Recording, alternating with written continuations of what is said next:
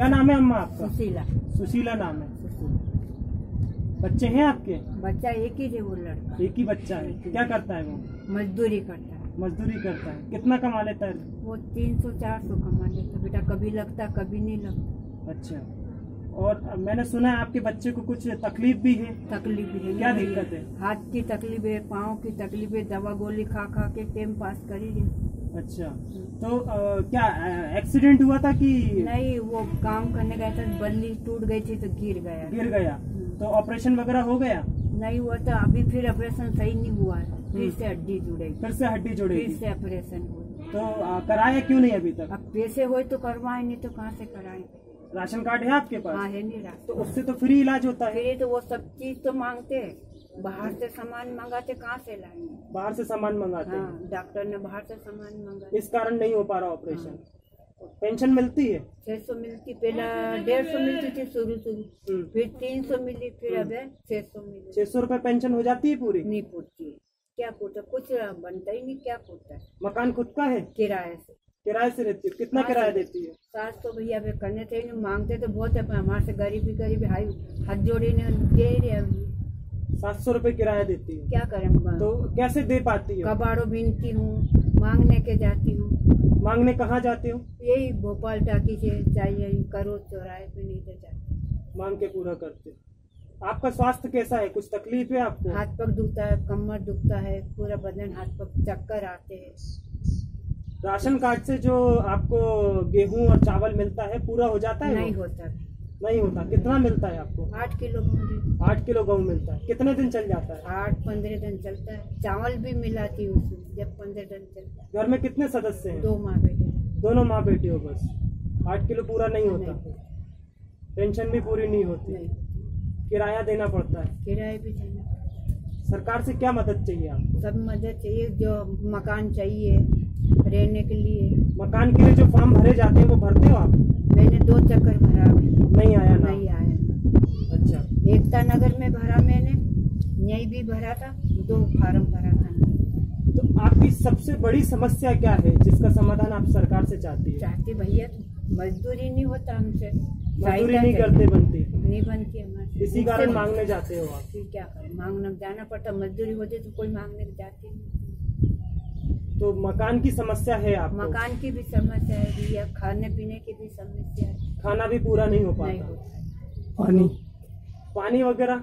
पानी तो कभी आता है नल कभी नहीं आते यहीं से भर लेते अड़ोस पड़ोस में से। अच्छा अच्छा तो आपको मकान की समस्या है? अगर सरकार की तरफ़ से आपको मकान के लिए सहयोग मिल जाता है? मिल जाए तो बहुत अच्छी अच्छा और राशन पूरा नहीं होता? नहीं होता। उसके लिए भी मदद चाहिए आपको? बेटे को कब से तकलीफ़ है? वो तो जब पहले शुरू शुरू दंगा हुआ था जब से तकलीफ़ हाथ की है। हम्म, वो तब क्या करो? ऊपर वाला के भरोसे कर ही रहा। पाँव यहाँ की जगह पुट्ठा पे है कि तीन राड डली है पुट्ठा पे। दो राड हाथ में डली है। हम्म। अभी मेरे को तो मजदूरी भी नहीं करते बनती होगी उससे वो तो? तो दवा गोली खा खा के टाइम पास करता है मजदूरी में।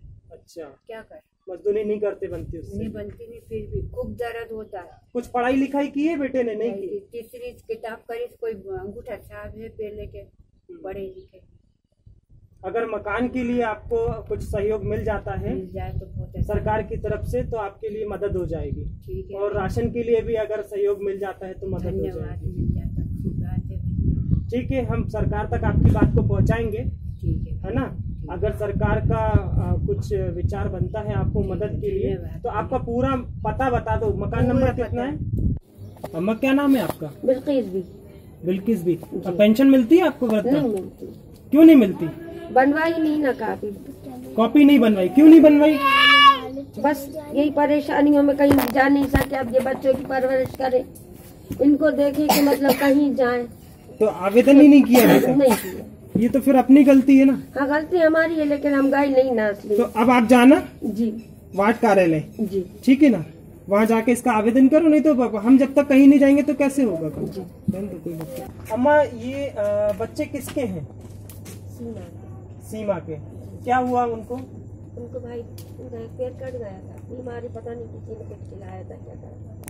बस उस बीमारी में उनका एक पैर कट गया था। उसके बाद मेरा हाथ माथ उनके बेकार हो गए थे सब। उसके बाद में उनके आदमी ने बहुत मारा ये कमर की हड्डी टूट गई उसमें खत्म हो गई इंतकाल हो गया उनका। हाँ। आप कौन है इन बच्चों की? पर नानी। पर नानी हो? जी हाँ। अच्छा तो इनकी परवरिश आप ही कर रहे हैं? हाँ। वो इनकी माँ का इंतकाल हुआ कितना समय हो गया? एक साल। एक साल हो गया। इनके पापा कहाँ हैं बच्चों के? क्यों? मालूम नहीं मालूम। आपको नहीं पता क्यों है जेल में? कितना समय हो गया उनको जेल में? पहले बीस रोज हुए हैं। इससे पहले कहाँ थे? बच्चों के साथ थे कि नहीं बच्चे तो ये मेरे ही पास है। अच्छा वो अकेले रहते थे। इधर पीछे रहते जाते थे अच्छा। बस वो दारू पीना कहीं काम पे जाना या ना जाना। तो वो बच्चों से संबंध रखते हैं कि नहीं नहीं रखते? रखते। इनकी खिलाने पिलाने के लिए कुछ सामान देते नहीं कुछ नहीं देते। कुछ नहीं देते। नहीं है। पूछ ये बच्चे बैठे हुए आप तो। पूरी परवरिश आप ही करते हैं। हम ही कर रहे हैं। और अभी से नहीं जब से पैदा हुए हैं, तब से परवरिश पार कर रहा है हम इन बच्चों को। जब इनकी माँ ज़िंदा थी जब भी और इनकी माँ खत्म हो गई उसके बाद। आप क्या चाहते हो इन बच्चों के भविष्य के लिए? स्कूल जाते हैं बच्चे? जी हाँ जाते हैं। कहाँ जाते हैं? ये इधर स्कूल सरकारी स्कूल में। हाँ। कौन से बच्चे स्कूल जाते हैं? तीनों जाते तीनों हैं। जाते हैं जी हाँ। अच्छा। तो आप इनकी मदद के लिए क्या चाहते हैं? उनको किसी समिति को किसी अनाथ आश्रम वालों को देना तो चाहते थे सर लेकिन उनके बाप हमारे ऊपर देता मैंने इसी बस देता थोड़ी करेंगे मैं गरीब अनाथ आश्रम में डाली इन बच्चों परवरिश भी नहीं करते और किसी को अनाथ आश्रम को देना भी नहीं चाहते। देना भी नहीं चाहते। तो आप इनकी परवरिश के लिए क्या चाहते हो? तो हमारे कहता हम रिपोर्ट कर देंगे बंद करवा देंगे। आप इनकी परवरिश के लिए क्या चाहते हो? इनके लिए यही चाहते हैं कि कोई मदद हो इनके लिए ताकि हम इनको रख सकें पढ़ा लिखा सकें या इनकी परवरिश कर सकें। आप क्या करते हैं? हम कुछ नहीं करते। आप मतलब आपके शोहर करते हैं? जी। वो क्या करते हैं? यहाँ पर पंचर सात दुकान हम्म, वहाँ पर बैठते हैं। तो कभी आ भी जाता है कभी नहीं भी आता कभी एक दो रुपए की हवा भी नहीं भराती। वो भी मार देते कभी बिल्कुल कुछ भी नहीं कमाते। फिर कैसे गुजारा होता है? बस अल्लाह देता है। आप हम तुम मदद करते भाई।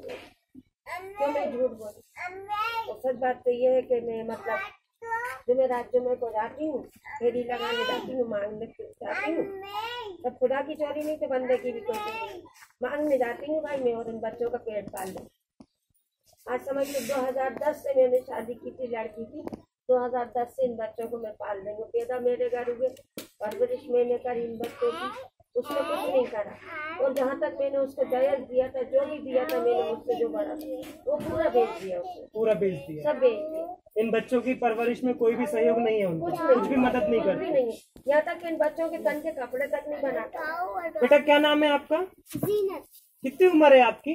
नौ नौ साल। नौ साल की हो। पढ़ने जाती हो आप? कौन सी क्लास में हो? दूसरी दूसरी क्लास में हो। कहाँ जाती है पढ़ने? सरकारी स्कूल में। तुम्हारा बेटा क्या नाम है? जैद। कौन सी क्लास में हो? पढ़ना अच्छा लगता है? हाँ? तुम्हारी केयर नहीं करते? करते हैं? अब्बू खाने वगैरह के लिए लाते हैं कुछ? पापा लाते हाँ। पापा तुम्हारे। तुम्हारे पापा लाते हैं खाने वगैरह के लिए? अभी कब मिले थे? कितने समय पहले मिले थे? एक बार बेटा आप बताओ। यहाँ तोड़ दिया था। यहाँ देखा पापा कब मिले थे अभी? अभी नहीं कितना समय हो गया? बीस। बीस रोज से नहीं मिले। कुछ लाते हैं खाने वगैरह को? नहीं लाते। ठीक है अम्मा जो करना होता है वो हम ही करते हैं लाते लाते खिलाते ठीक है हम करेंगे